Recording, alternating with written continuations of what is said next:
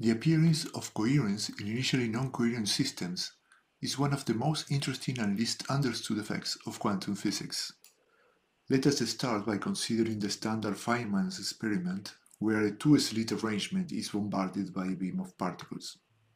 We are assuming that these particles are thrown one by one, like in most accelerators.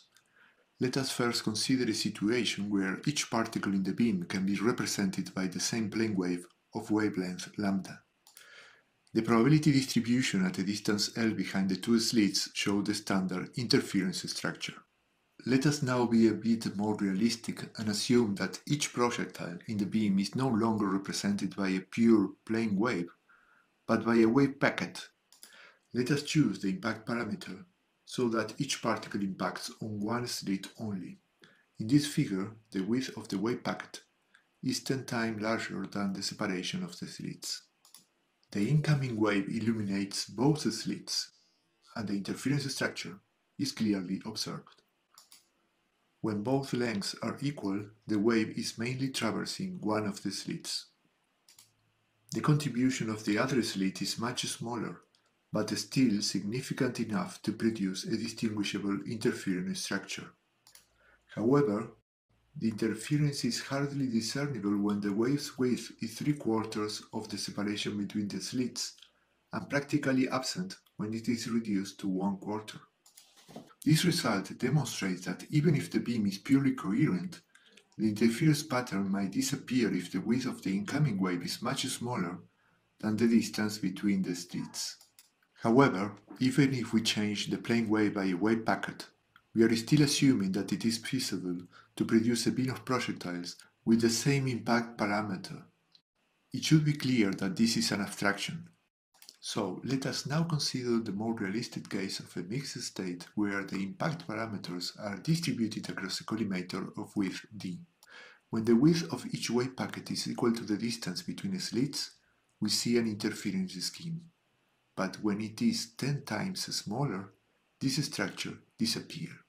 So far so good, but now let us consider the case when this same wave, which does not produce interference, is allowed to travel a given distance L0 before reaching the two-slit array.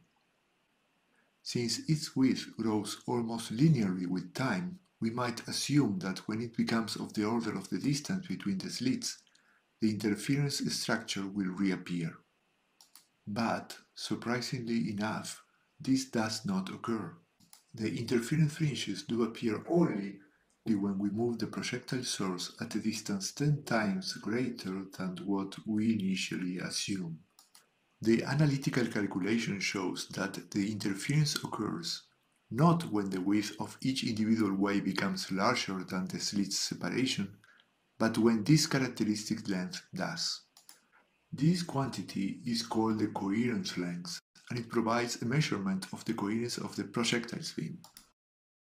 This result represents the van Cittert-Zernike effect of optics applied to quantum particles and gives meaning to the title of the present work by showing that the classical uncertainty characterized by the aperture of the collimator modifies the quantum uncertainty which is represented by the width of each wave packet.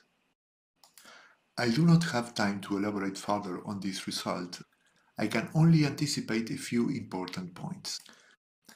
First, if we rely on these results, Thomas Young could not have succeeded in his famous experiment of 1807, but inadvertently he made a modification in the conditions of the experiment which led to his success. Second, it has been usually assumed that in standard collision experiments, when reaching the target, the projectile's mixed state can be represented by a single plane wave. However, by changing the experimental setup, it is now possible to manipulate the coherence length, moving between coherent and incoherent conditions. Finally, by an effect that we have named atomic concealment, not only the interference disappears, but also the cross-section is reduced by a factor as large as 2. And this is all we wanted to tell you in this brief 5 minutes. We are at your disposal for any questions you want to ask, and we thank you for your attention.